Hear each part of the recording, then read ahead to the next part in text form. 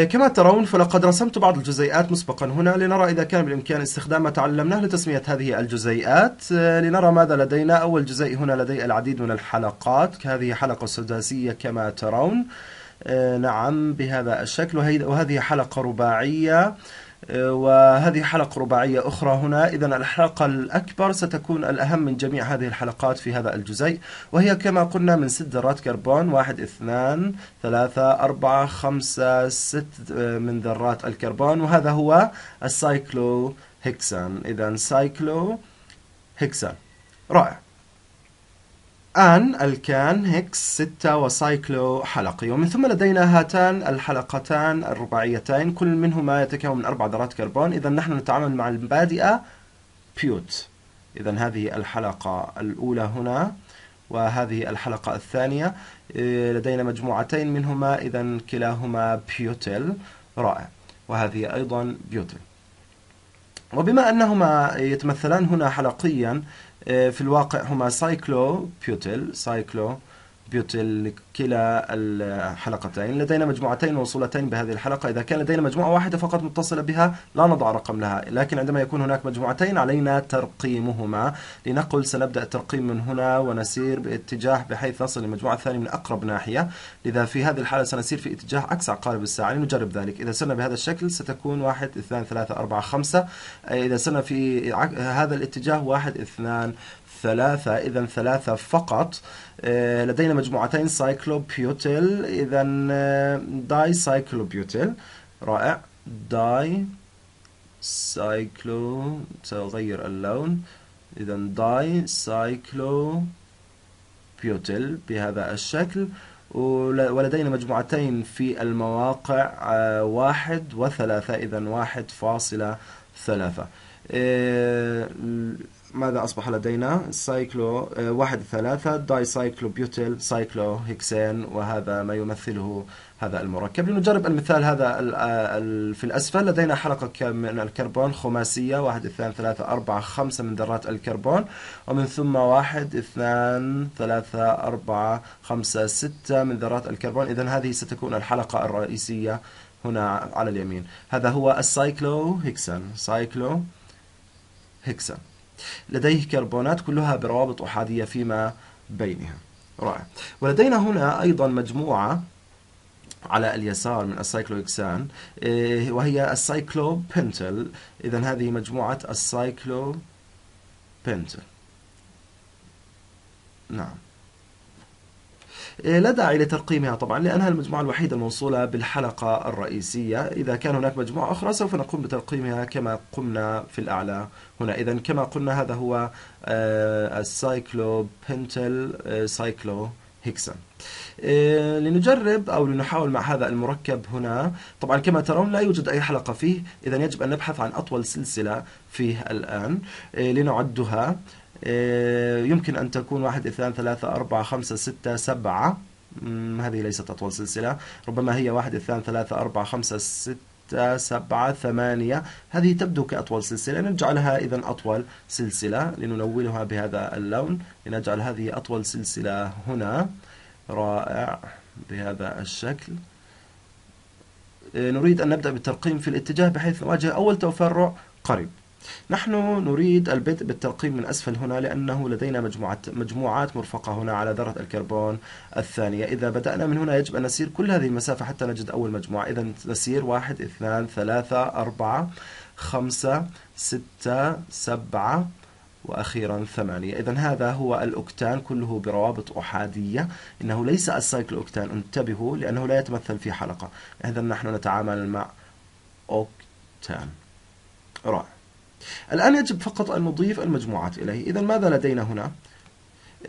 طبعا هذا هنا هنا لدينا مجموعة مثل موصولة مع السلسلة الرئيسية. هذه مجموعة مثل أخرى موصولة مع السلسلة الرئيسية. كلاهما مجموعتين مثل. طبعا كما تعلمون المقطع ميث يعبر عن وجود ذرة كربون واحدة. إذا لدينا هنا مجموعتي مثل إذا نظرنا إلى جميع التفرعات فقط هذين التفرعين يمثلان مجموعتين مثل. هذه أعلى هنا ليست مجموعات مثل.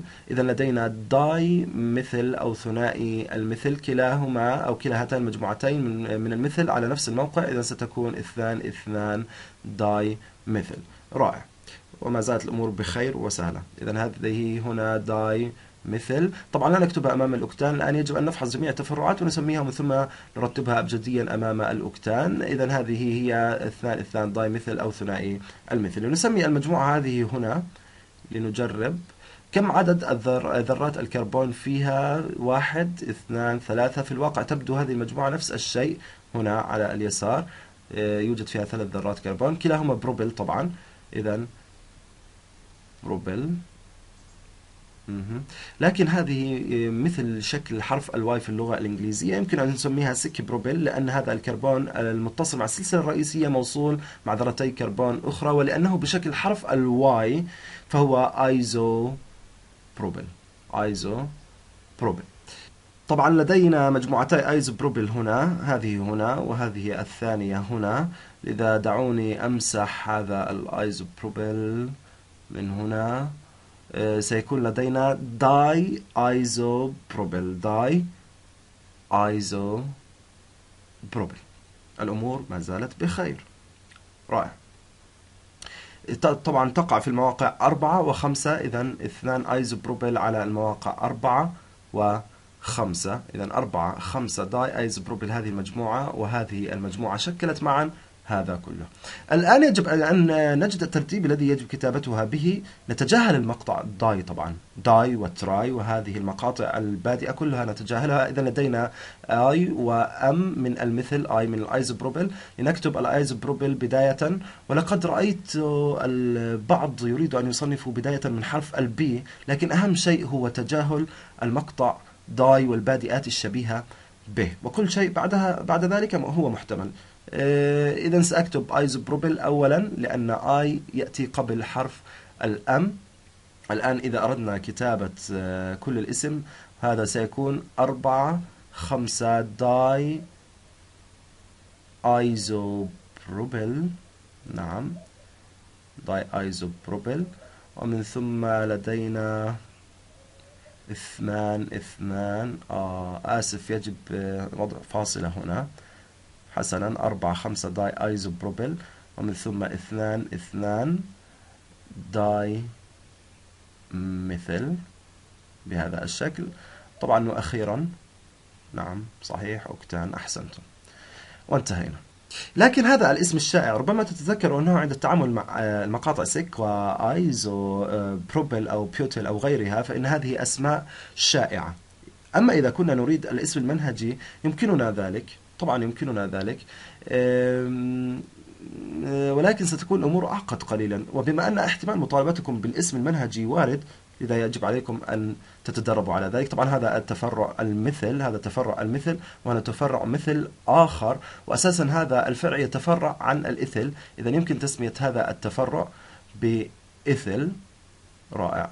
ولدينا مجموعة مثل هنا عليه. نعم.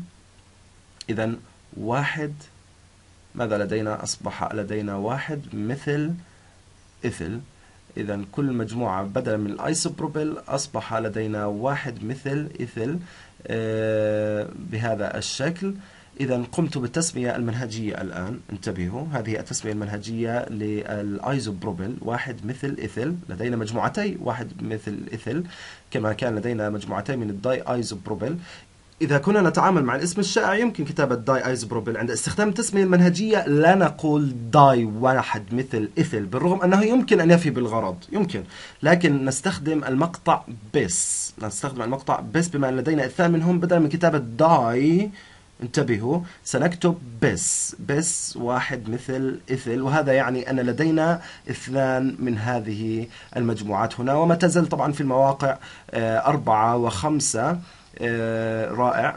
إذا هنا إذا نظرت إليها حسب الترتيب الأبجدي الآن آه، المثل إثل يأتي بعد المثل بعد المثل. إذا الترتيب سيتغير الآن. إذا الآن إذا أردنا كتابة هذا مع التسمية المنهجية سنكتب بداية اثنان فاصلة اثنان داي مثل نعم اثنان اثنان داي مثل حسنا. والترتيب آه الآن آه لنغير آه تغير المجموعتين.